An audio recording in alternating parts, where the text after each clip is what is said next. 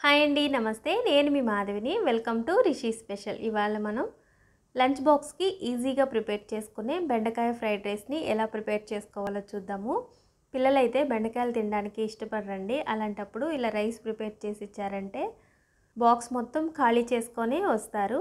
So ఎలా prepare చేసుకోవాలో ఇప్పుడు వీడియోలోకి వెళ్ళి చూద్దాము. ముందుగా స్టవ్ పైన కడాయి పెట్టుకొని ఇందులోకి పావు కప్పు దాకా ఆయిల్ని యాడ్ చేసుకుంటున్నాను.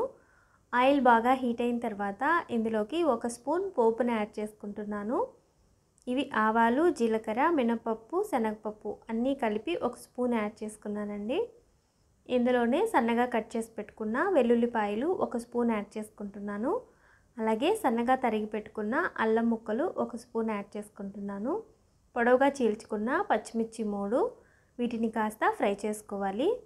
ఇలా ఫ్రై అయిన తర్వాత ఇందులోకి మీడియం సైజ్ ఉల్లిపాయ ఒకటి తీసుకున్నాను. ఇలా సన్నగా కట్ చేసుకొని యాడ్ చేసుకోవాలి. ఉల్లిపాయలు కాస్త దోరగా ఫ్రై అయిపోతే సరిపోతుందండి. ఎక్కువగా ఫ్రై అవ్వనక్కర్లేదు.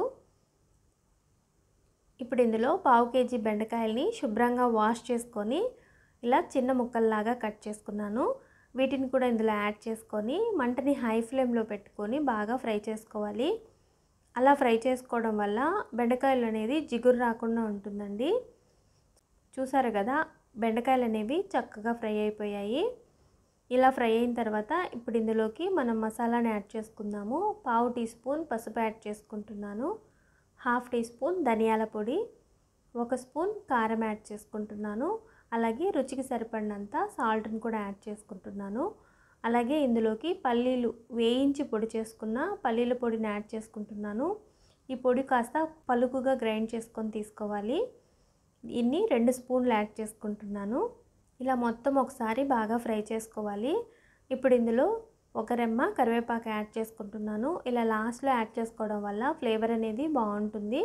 దీన్ని ఒకసారి బాగా కలుపుకొని ఇందులోకి ఒక కప్పు రైస్ తీసుకున్నానండి. రైస్ మొత్తం బాగా కలిసిపోయేంత వరకు బాగా కలుపుకోవాలి. ఒకసారి చెక్ చేసుకొని అవసరమైతే సాల్ట్ అనేది యాడ్ చేసుకోండి.